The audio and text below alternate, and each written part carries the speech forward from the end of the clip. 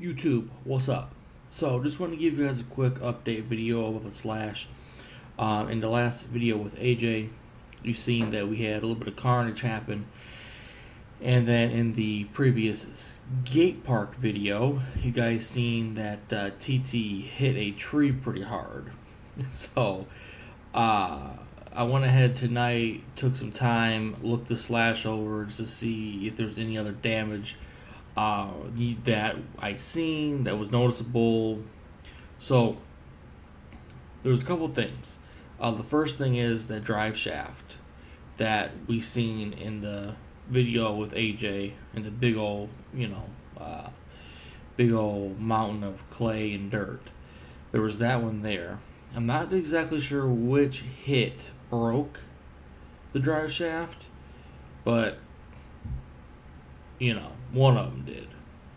And uh, you know, AJ AJ be ripping it up. So um, we have that, and then also the side that TT backed the truck into. The side of the truck that TT hit the tree with, but like that. Um, the RPM A arm that I just replaced is bent. Let me show you.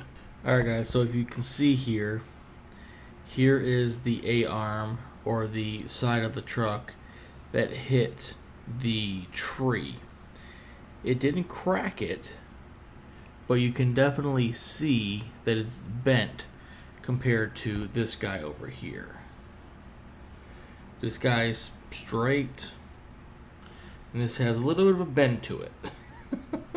so uh, I don't know what I can do about that, but um, it doesn't seem it doesn't seem to affect the truck any. Let me flip this around here and I'll show you the carnage from the clay hill. So here is here is the carnage from the clay hill, dirt hill, little RC adventure that AJ had. And see if I get the lighting and the angle right here. You guys can actually see in there. One side of the U-joint is gone. See that in there? So,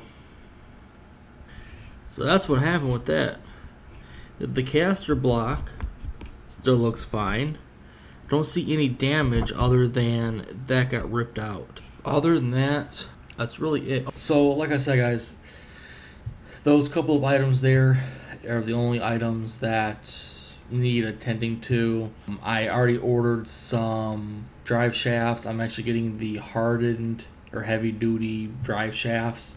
Uh, just for the front, I'll probably order the rears here in a little while. But I ordered me some of those. They'll be here this week. And I'll get those replaced and just kind of go from there. Let me know what you guys think about that rear A-arm. I'm also going to look a little bit further into how tight my slipper clutch is. I've noticed the last two days when we've been out there bashing, I can hear it slipping in there. So I'm going to take a look at that and see what that situation is. Um, but really, other than that, guys, the slash is just taking a beating. Like I said, honestly, I'm actually surprised that nothing else has really broken on this. Again, I'm comparing my experience to like the Rustler. Totally different setup, uh, different material. The four, the slash 4x4 has beefier parts on it, beefier plastic, so I get it. But still, I'm just amazed. I mean, you, you, you guys seeing how we're bashing this thing around. We're you know we're we're jumping it, we're hitting stuff with it, we're just going crazy with it. So so anyways, I'm out. I gotta go to bed. Thanks for watching. Comment, like, subscribe, share the videos.